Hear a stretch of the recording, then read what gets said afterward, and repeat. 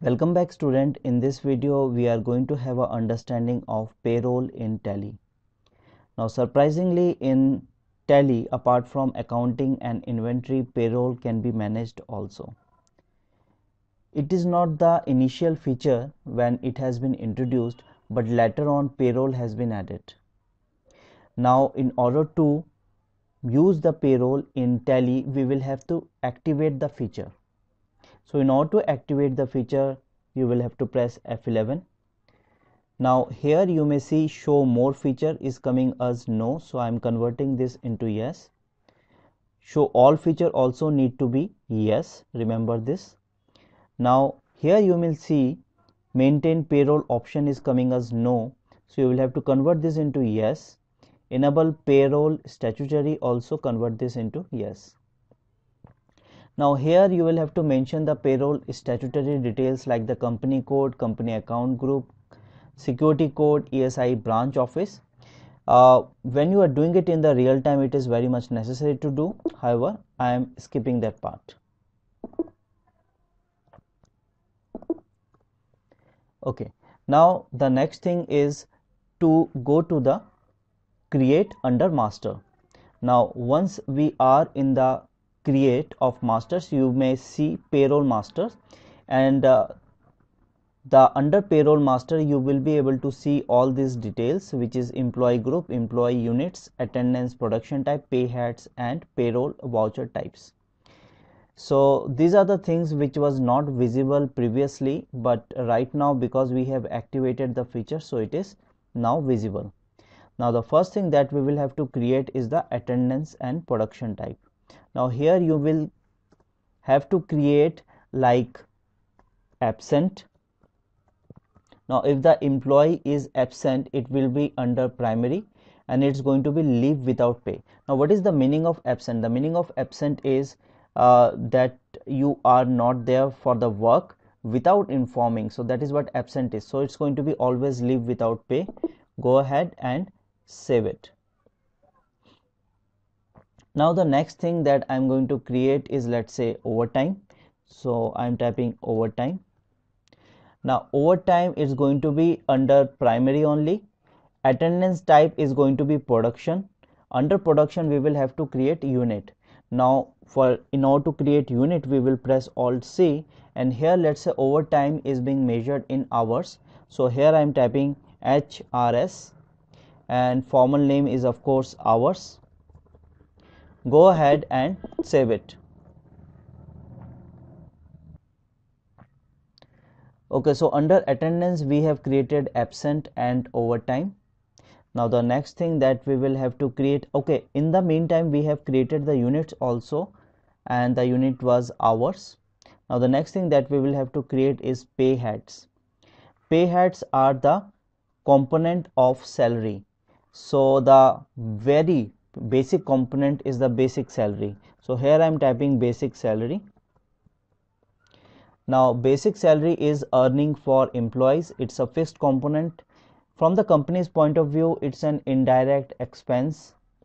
Uh, effects net salary yes. Basic salary use of calculation in gratuity no. Okay so in the calculation type we are going to select on attendance because basic salary is based on attendance now here attendance leave with pay. Attendance leave with pay is going to be not applicable. Leave without pay is going to be absent. Now calculation period it's going to be on monthly basis. And basic of calculation is going to be as per calendar period that's fine. Here it's going to be not applicable go ahead and save this pay head now we have created the first pay head which is basic salary. The next component i'm creating let's say as travel expense. Now travel expense is going to be earning for employees again. It's going to be under fixed. Uh, from company's point of view again it's an indirect expense. Yes. Travel expense use of calculation no. And here it's going to be flat rate. Now flat rate is going to be travel expense based on months okay again it is not applicable. Don't give any opening balance. Go ahead and save it. Next i am creating let's say overtime. Now overtime is again earning for employees fixed. Is going to be indirect expense. Yes uh, overtime fine use of calculation no. And overtime is going to be whether uh, flat rate on attendance or on production. So it's going to be on production. And it's going to be measured we have created the production type which is on hours. So here i have selected this. Again the rounding method is going to be not applicable. Next i am creating da da allowance. It's again an earning for employees. Fixed it's an indirect expense. Now yes da no. Calculation type is going to be on computed value because DA is based on the basic salary. Normally the rate may vary. Here I am considering let's say 8%. So here it's coming as not applicable. Fine. On current earning totals fine. Now effective date is 1st of April. Now amount up to here you need to create slab.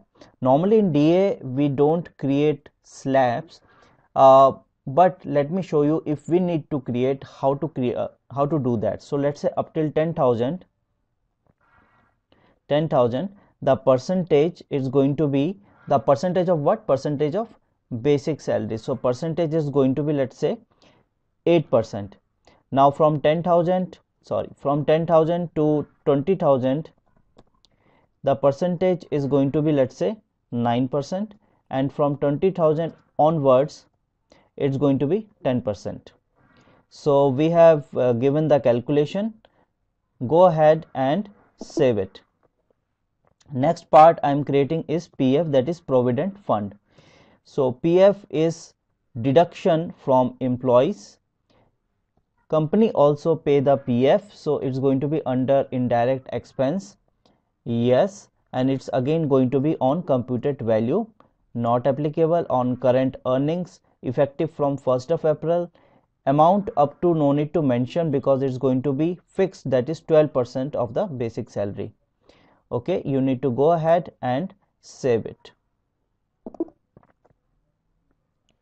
Fine. So we have created the pay heads and we have created units as well. We have created attendance and production type. The next thing that we will have to create is the employee group. Employee group generally are the departments. So let's say here I am taking marketing. Marketing under primary then I am creating HR primary go ahead and save it. So I have created the employee group as well. The next thing that we will have to create is the employee details. So let me go to employee. Here you need to create all the employees. For the sake of example I am creating three employees here. So first employee I am creating let's say Shyam now it's going to be under primary. Date of joining I have mentioned let's say 1st of April. Define salary detail. Here it's coming. No you will have to convert this into yes. Now from here you will have to mention the day uh, salary component. So from effective from 1st of April pay heads is basic salary. Now what is the basic salary of Shyam let's say it is uh, 18,000 it's earning for employees. Next part is the DA now DA was based on the salary basic salary. It was uh, the slab rate I have given. So that's the reason it's not asking for the rate. Okay now I am selecting overtime. Now overtime for overtime is, is calculated based on per hour. So per hour how much you, you are willing to pay. So here let's say per hour 400 rupees is the charges. Now next is pf and next is travel expense. Travel expense is fixed rate. So here let's say he is getting 1500 as a travel expense. Okay? Now next thing is the employee number. So let's say i am giving it 1001 a designation here Shyam. So I am let's say here selecting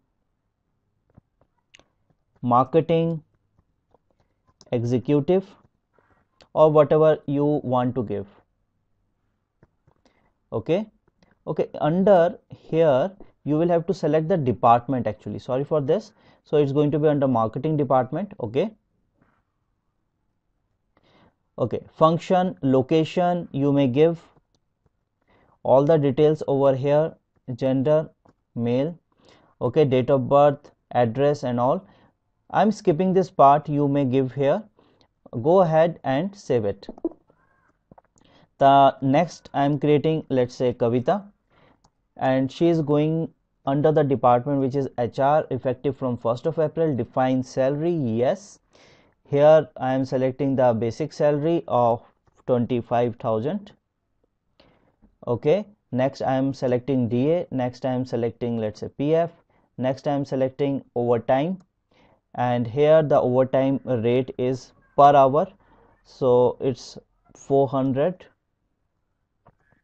and travel expense is fixed so 1500 go ahead and save it. So employee code here i'm giving 1002 okay designation i am giving hr manager. Function location same noida. Gender female rest of the detail i am not giving. And save it. Next uh, party name i am creating let's say barun. It's going to be in marketing department. Effective from 1st of April yes. From here I am selecting basic salary. Basic salary let's say 35,000 DA and PF I am selecting. Overtime it's going to be 400 per hour then travel expense is fixed which is 1500 go ahead and save it. Okay let me give the employee code designation marketing manager. Okay function location i'm giving noida. Okay rest of the detail i'm not giving. Go ahead and save this as well fine. So we have given employee group employee units attendance production type and pay head as well. Time to do the payment of salary. Now let me go to the voucher first. Now from voucher let me go to other vouchers. Show inactive.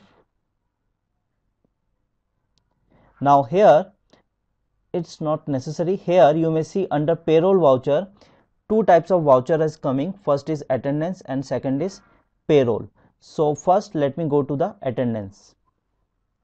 Now in the attendance you will have to select the employee. Let's say first i am selecting shyam. Now in the attendance uh, there are two components first is the absent and overtime.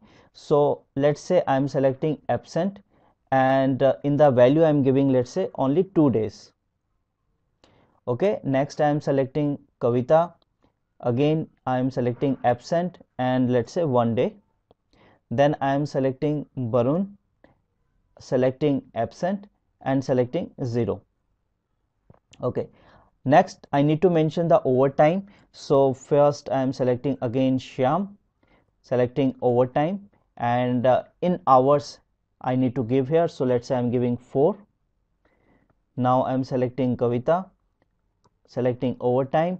If there is no overtime give 0 if there is overtime then you may give let's say 6 if there is no overtime then in fact you, you may skip that part as well. So let me go to i have given for shyam kavita barun i am selecting overtime.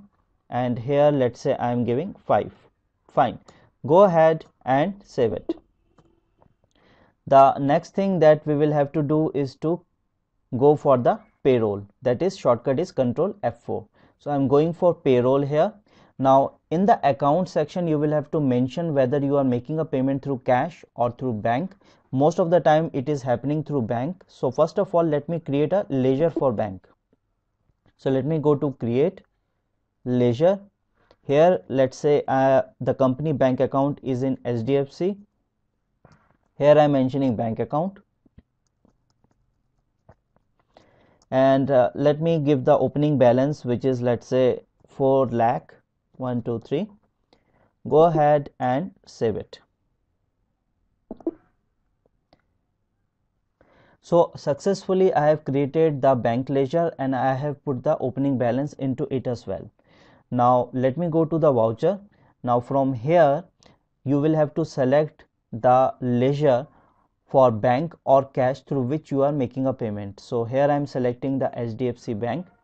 Now in the particulars I will have to mention the employee details. Now for this we will have to go to autofill. Select go to autofill. From here select payroll autofill. From here I am selecting salary. I am selecting the date that is 1st of April 2022 1st of May because it's an education version so I can't give the last date.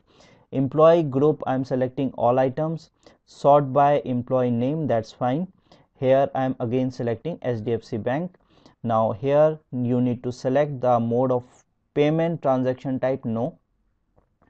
The moment I have done that you can see this all the details are coming overall here you may see that how much salary need to be paid that is 90,587 go ahead and save it. So this is how the salary need to be paid. Let me show you few reports. So let me go to display more report. From here i am going to payroll reports. From here i am going to payslip let's say i am selecting Barun and you can see there its basic salary DA has been calculated on that particular amount. Over time it's coming on the basis of hours that we have set over there. Travel expense is also coming over here. So deduction of pf also it's showing here. And you can see everything is being there. If you want to print it go to print option go for current option. You can see the preview over here and you can print the payslip as well so this is how payroll need to be maintained in a company or specifically in tally this is it for the video. Thank you for watching. Have a nice day